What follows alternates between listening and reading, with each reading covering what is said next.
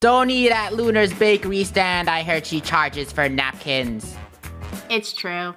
You know what doesn't cost money? Subscribing and liking the video because it's completely free, unlike these napkins.